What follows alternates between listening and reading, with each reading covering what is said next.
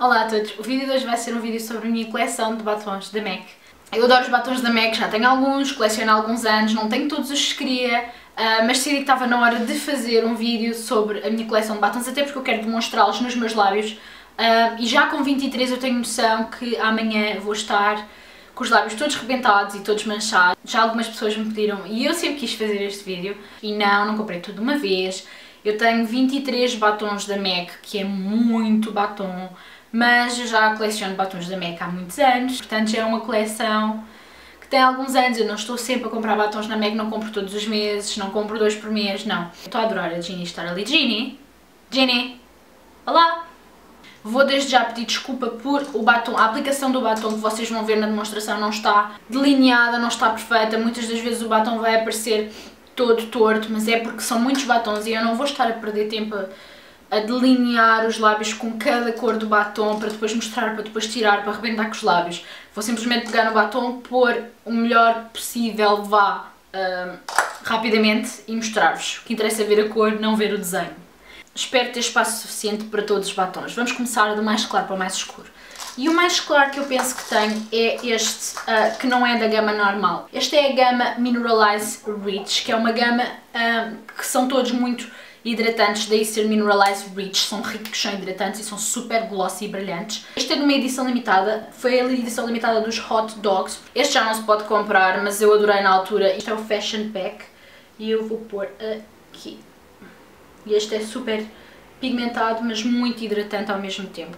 Este próximo que eu vou mostrar é o Creme de Nude, que é também um nude, obviamente, e é no acabamento Cream Sheen, ou seja, super hidratante, super glossy, mas claro, tende a perder um bocadinho na pigmentação, apesar de não perder, super pigmentado, mas tende a perder também um bocado na duração. Lindo de morrer, mais uma vez é um daqueles nudes que ficam super apagados, mas que só funcionam com um olho muito, muito forte. O seguinte é o meu nude favorito, é o Patisserie e é um acabamento luster, ou seja, é lustrado, uh, é hidratante, tem pigmento, uh, é um género de um cream sheen, eu diria, mas com um bocadinho mais de duração e um bocadinho mais de cor e menos brilho. É mesmo o nude perfeito para mim. É a perfeita conjunção de um rosa com um castanho e é ligeiramente mais escuro, evidentemente, que estes, mas também é bastante hidratante.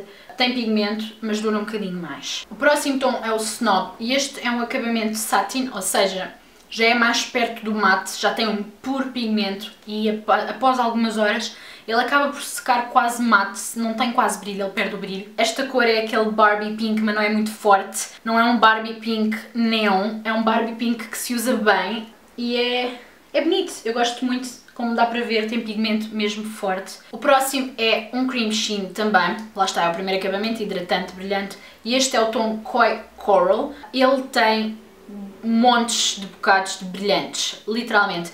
É um coral super é lindo, é um coral tipo alaranjado, mas não muito escuro. É um meio termo entre o rosa e o laranja, mas acoralado, mas não muito escuro. Mas depois eu achei engraçado porque tinha bocados de brilho pelo batom. E não é comum. E tem uns reflexos tão giros alaranjados, que são os brilhantes que tem, que não é comum. E eu achei interessante e comprei. O próximo é o Costa Chic, que é um dos meus favoritos de verão é um acabamento frost, portanto é tipo gelado, perolado eu diria, uh, parece ter um acabamento tipo nacarado quase, é muito muito giro. Lá está, este é um coral um bocadinho mais forte, é um frost, ou seja, tem mais pigmento, bem mais, bem, eles são muito diferentes, eu por acaso tinha a ideia que eles eram muito parecidos, mas eles são muito diferentes. Mas pronto, são ambos corais, este mais a puxar para o alaranjado e este mais a puxar para o rosa, este põe os dentes mais brancos, Uh, mas são ambas cores que eu adoro no verão. O próximo é o Impassioned. Este é um acabamento Amplified, é um dos meus acabamentos favoritos. É mesmo um meio termo, literalmente, não consigo descrever de outra maneira. É uma, é uma cor forte, pigmento forte, duração forte, mas com um brilho super saudável. E sei que passado algumas horas vai ficar sem brilho, mas não vai ficar seco mate, nem tão pigmentado. É lindo, é super neon e super pigmentado, é muito bonito.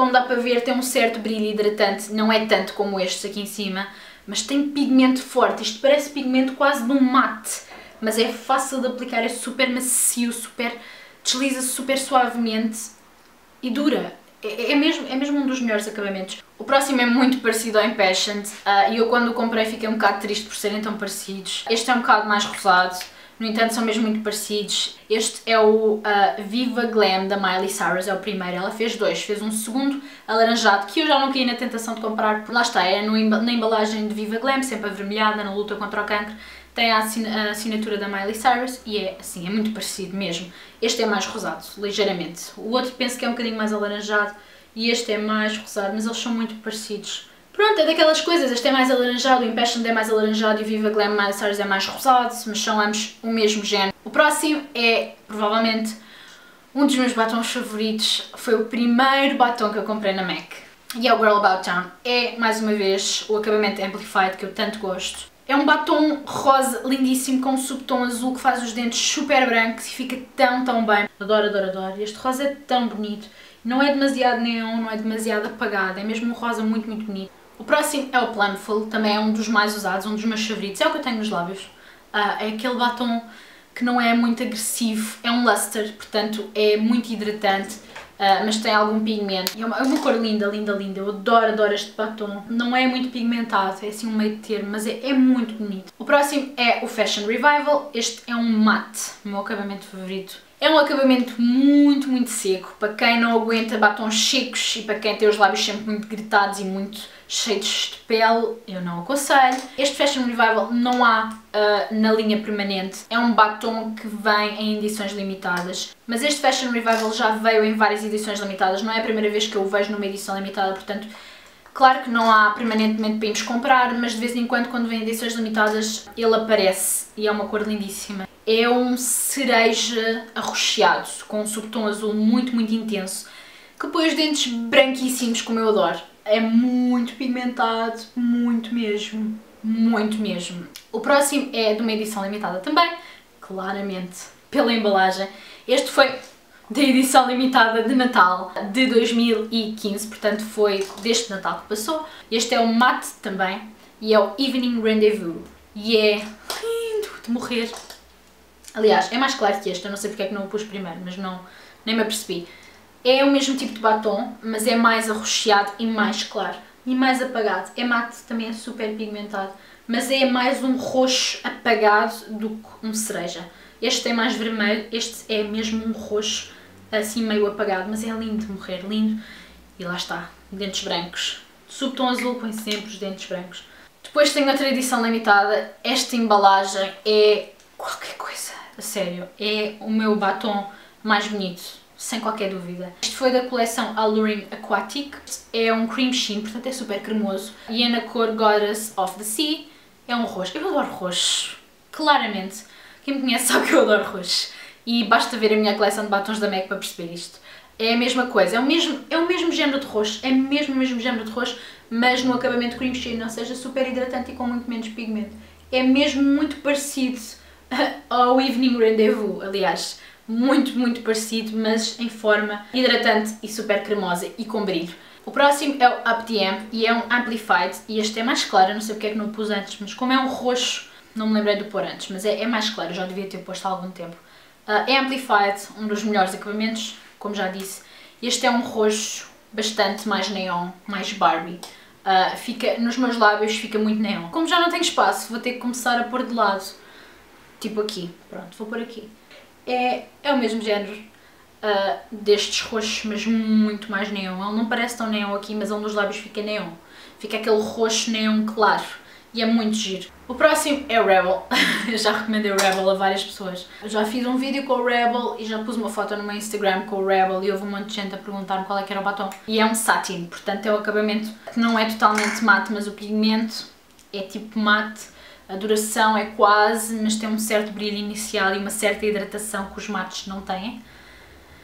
É tão bonito, mas é um roxo cereja muito escuro, mas eu adoro, adoro, adoro. Nos meus lábios ele não fica tão escuro, no entanto. Quem viu a foto do Instagram sabe disso. Uh, é tão bonito, é mesmo, mesmo bonito, muito bonito. É um bocado mais vivo do que, por exemplo, estes roxos que eu tenho aqui. É um vivo, é um roxo muito mais vivo e muito mais acerejado. E é aquele batom que eu digo já, fica bem a qualquer tipo de tom de pele. Eu já usei Rebel nas peles mais escuras possível, já usei Rebel nas peles mais claras possível e é mesmo aquele batom que fica tão bem a toda a gente, fica mesmo muito bem. Com os dentes brancos é, é um dos meus favoritos, sem qualquer dúvida. É mesmo muito, muito bom. De seguida vamos passar para os vermelhos e vamos começar pelo vermelho mais claro. É um matte e é o Lady Danger. Este é um vermelho que eu só consigo usar no verão. É, vou ser sincera, só consigo usar no verão. É um vermelho muito alaranjado. Muito alaranjado. E é uma cor linda. Eu no tubo eu olho para ele e eu só quero pô-lo em toda a minha cara. Mas eu, eu não fico bem. Quando estou assim branca, eu não fico bem de cores alaranjadas. Não fico, não fico. Fica mal. Eu não gosto de ver, pelo menos. Parece que fico doente, os dentes ficam amarelíssimos, eu não tenho cor, os dentes parece que ficam ainda mais amarelos. No verão, com um bocadinho mais de bronze, já é outra história, parece que o meu bronze puxa um bocadinho mais, o meu tom de pele puxa um bocadinho mais para o alaranjado, para o bronzeado, para o castanhado.